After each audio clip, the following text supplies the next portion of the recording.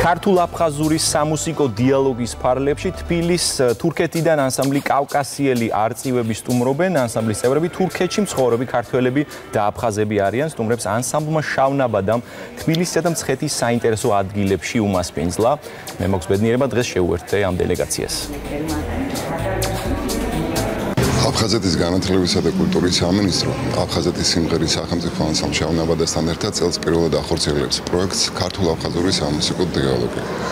რომელშიც წელს პირველად ჩამოვიყვანეთ თურქეთის რესპუბლიკიდან ფოლკლორული ანსამბლი კავკასიელი არწივები. ესენი არიან მუხაჯირები შთამომავლები, ეთნიკურად ქართველები, ეთნიკურად აფხაზები, ლაზები, ჩერქეზები, კავკასიელი წარმოშობის სხვადასხვა ხალხი.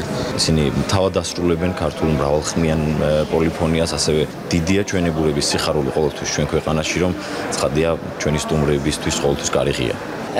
თურქეთელი ქართველი ვარ, სინოფელი ვარ. და ძალიან მიხარია რომ ჩვენ აქ ვართ ასეთი ზვირფასი და საყვარელი ადამიანებთან ერთად ვართ. ძალიან მიყვარს ჩვენი კულტურა, ჩვენი ხელოვნება, ჩვენი ენა. მე ცოტა ვლაპარაკობ ქართული, მაგრამ მინდა ვისწავლო კარგად და მინდა ცხოვრება აქ.